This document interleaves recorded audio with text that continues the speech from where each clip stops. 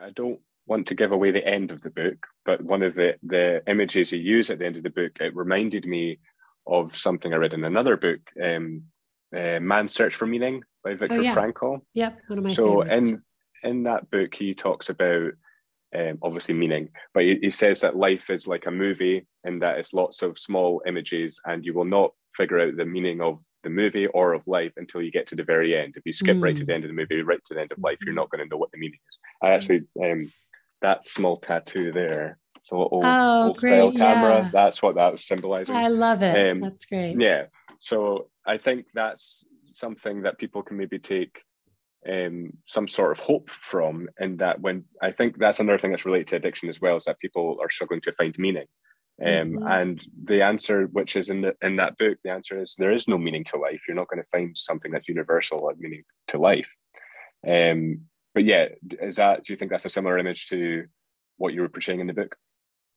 Yeah i mean i i guess my i, I think it is possible to find meaning um, but we don't we don't find it with the grand pronouncements. We find it mm-hmm. by living each day according to our values and, and making meaning, you know, in an iterative way every single day through time, while not knowing exactly where it's going to lead, but trusting in the process.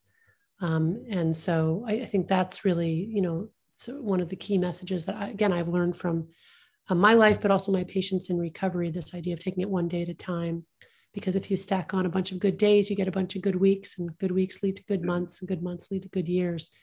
And we can't know exactly where it's all going, but we can, the things that we can control here, uh, you know, in now is, is, um, and I guess I, I do believe it's, I'm curious about your not believing in free will. I'm sure it has to do with like, all the antecedents that led up to this particular moment, um, us not controlling that. But nonetheless, um, I actually do think that there is that moment of choice um, that we all have throughout our lived time.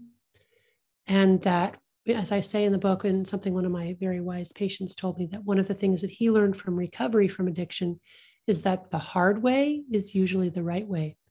And I love that because sometimes when I'm stuck not knowing what to do or I have a choice and I'm not not sure which way to go, I think about that. Well, what's what's the hard way? What what's the path that would be more effortful for me? And I think that that's probably um, the path I should take. That's probably the right path. So I guess it's those those kinds of messages. Yeah,